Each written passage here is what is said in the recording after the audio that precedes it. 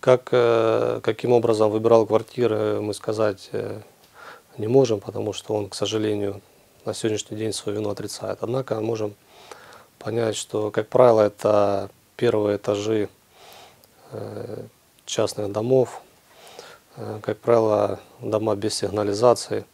Преступление совершало в дневное время. Вот. Также были случаи, когда во время совершения преступления он э, застигал дома хозяев домов, после этого убегал. В ходе проведения обыска по месту жительства фигуранта было изъято э, граната РГД-5 и патроны к автомату Калашников. Не все идентифицированы и установлены владельцы не всех вещественных доказательств, поэтому в настоящее время полиция устанавливает потерпевших, э, чьими вещами могут оказаться данные вещественные доказательства. Когда его задерживали, он назвался вымышленным именем. Хотя достоверно было известно и фамилия, и имя, отчество. До последнего он отказывался признавать свои настоящие данные.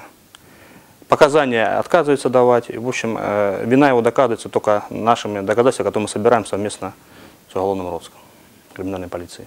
В настоящий момент преступник содержится под стражей в СИЗО города Мариуполя. Избрано мероприятие арест сроком на два месяца.